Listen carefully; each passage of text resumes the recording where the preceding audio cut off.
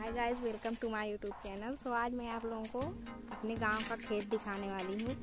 तो चलिए हम लोग चल रहे हैं। ये देखिए, इधर लहसुन की खेती हुई है। और उधर देखिए सब सरसों यहीं पर? ये देखिए, ये है अरहर का पेड़।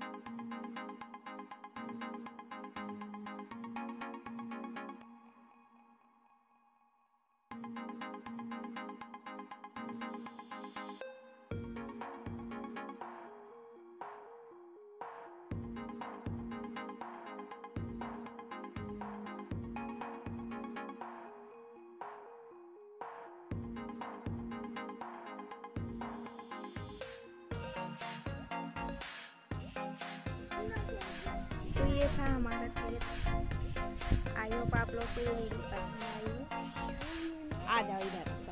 आ जाओ साइकिल उधर मत जाओ बाय गाइस मिलते हैं नेक्स्ट